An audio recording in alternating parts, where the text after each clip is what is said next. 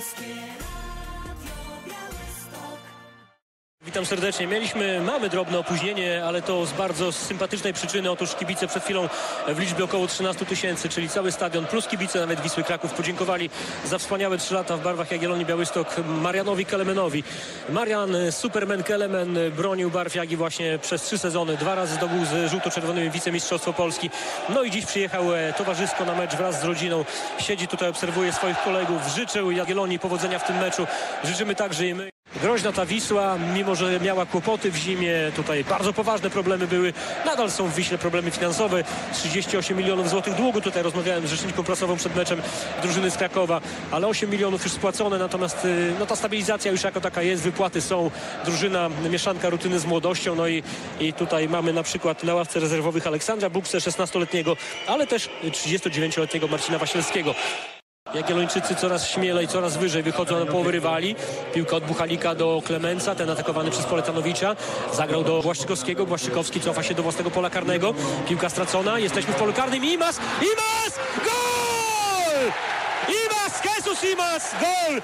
Jesus się nie cieszy! Błaszczykowski popełnił duży błąd. Pospisil piłkę odebrał mu przed polem karnym. Zagrał do nieobstawionego Jesusa Imaza i tym razem Imas wykonał rzut karny prawidłowo. Rzut karny w cudzysłowie oczywiście, dlatego że miał pozycję płynną z gry. To nie był stały fragment gry. Po podaniu Pospisila bodajże piłka trafia do Imaza. Imas w lewy bramki Michała Buchalika. Gol, podniósł ręce Imas. Nie okazał tutaj tej radości. Okazał szacunek kibicom i drużynie Białej Gwiazdy. Zobaczymy, co zrobi Buchalik. Ledwo, ledwo przed nogą naszego zawodnika zdążył, ale podał na środek do Gilermy. Gilermy głową od razu do Romańczuka. Romańczuk do Kosztiala. Kosztial rozpędza się z lewej strony pola karnego. Piłka w szesnastkę. Imas! Gol! Imas gol! Imas gol! Imas gol, gol, gol! I on się znowu nie cieszy. Akcja Wiślaków. Martin Kościak, który też niespecjalnie biegnie się cieszyć. On też e, ten szacunek pokazuje Wiśle, ale akcja Jagiellonii pierwsza klasa. Przejęcie piłki na skutek pressingu. Po złym wybiciu Buchalika. Głowa Gilerme do Romańczuka. Romańczuk lewy do Kościala. Kościal pierwszorzędną piłkę dał na piąty metr do Imaza. Imaz wszedł na to podanie. Znakomicie. Musiał trochę nogę wystawić. 2 do 0. Sawiczewicz w prawo do Niepsuja, wraca za nim y, nasz zawodnik, ręka zdaje się była gracza Wisły, sędzia puszcza grę dalej, musimy się dalej zatem bronić, piłka w pole karne, Brożek, Brożek, gol! Paweł Brożek zdobywa bramkę dla Wisły Kraków. No i teraz pytanie, czy nie będzie gra cofnięta do tamtego momentu. Tam nasi piłkarze wcześniej pokazywali, że jest ręka, jakby stanęli, Wisła grała dalej. Piłka na sam na sam dla Brożka. Brożek nie miał problemu ze skończeniem tej akcji. No i pytanie, czy będzie gol? Jest dyskusja. W stadion, Państwo słyszą gwizdże. Czy będzie 2 do 1 dla Jagi, czy będzie 2-0, bo e, ta gra jeszcze ciągle nie jest wznawiana. Sędzia rysuje w powietrzu prostokąt rękoma i pokazuje, że jest gol dla Wisły Kraków, że bramka zostaje uznana. A zatem w 43 minucie e, Paweł Brożek wpisuje się na listę strzelców. Na środek połowy Wisły, ale przejmuje to Romańczuk. W lewą stronę do Gilerme. Gilerme do Pospiszila. Pospiszil w pole karne. Zagranie z Romańczukiem klepnęli, ależ tu klepka. Trochę ostry kąt. Jest sytuacja i gol samobójczy czy Imas? Gol! Imas! Jesus Imas po raz trzeci! Ależ tam nasi zamieszali w polu karnym. Romańczuk Pospiszil pachniało samobójem. Odbił to Buchalik. Dopadł do tego Imas! I z piątego metra, może z trzeciego, wpakował piłkę do sieci. Jagiellonia, Białystok prowadzi 3 do 1 i po raz trzeci dzisiaj zaśpiewa w tym meczu Zenek Martyniuk. I tutaj Wojtek Szubs da podpowiedzi mi udzielił pisemnej, że Irek, nasz trener, szalał i skakał po golu.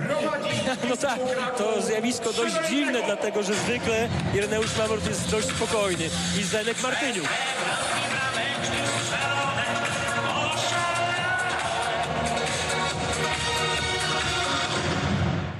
Schodzi z boiska jednak Jesus Imas. Wielkie, wielkie brawa. Będę bić brawo też i ja. Trzy gole Jesusa Imaza. Stadion wstaje. Owacja na stojąco. Jak w teatrze. Jak w teatrze muzycznym, w operze. Naprawdę kapitalny mecz Jesusa Imaza przeciwko swojej byłej drużynie. Dziękuję mu teraz serdecznie. Trener Ireneusz Mamrot wchodzi na boisko w jego miejsce.